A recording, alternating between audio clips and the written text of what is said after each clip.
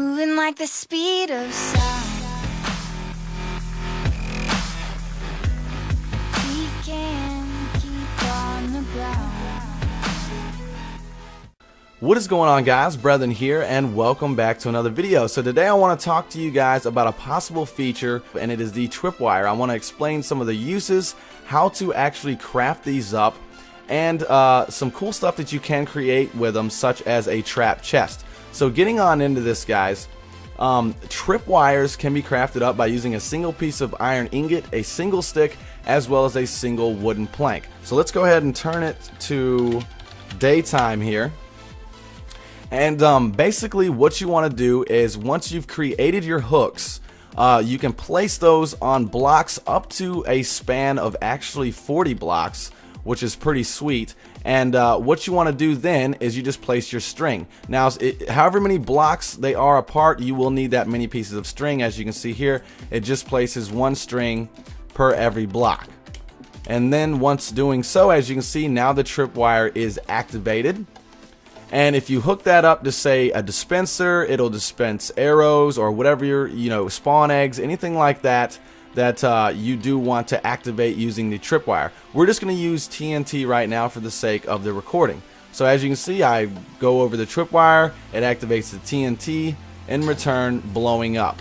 So with that being said, now that I've shown you guys how to actually create a tripwire trap, I'm going to show you guys how to actually disable one because you will be seeing these in the jungle temples as well. And uh, the way you actually disable a tripwire is you just go up to it. It's very simple and just hit it with your shears. And as you can see, it just disables it and you won't have to worry about that anymore.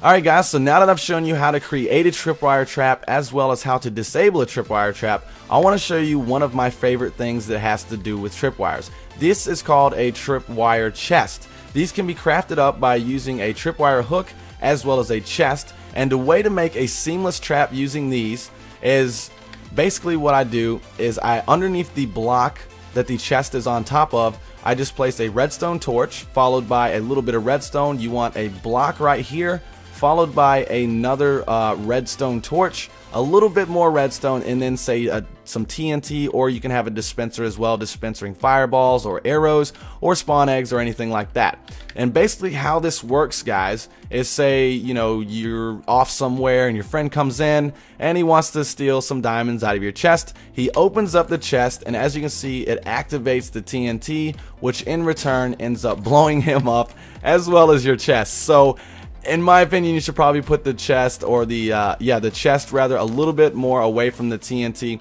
But I thought this was pretty cool. You can also hook it up to pistons to where, say, if he's in front of the chest and he's going through your stuff, that the piston will actually drop the floor out from under him and uh, in return maybe falling to a pit of lava or something like that. Anyways, that pretty much wraps it up for tripwires, uh, their uses as well as what you can craft and create with them. I hope you guys did enjoy the video. If you did, please do give it a like rating. That'd be absolutely awesome. If you're new to the channel, feel free to subscribe guys because I definitely got some more TU14 videos coming up in the following weeks for you guys so you definitely don't want to miss those. Anyways, I hope you guys are having an awesome day. Thanks so much for watching and I will see your face in the next video. Peace out, guys.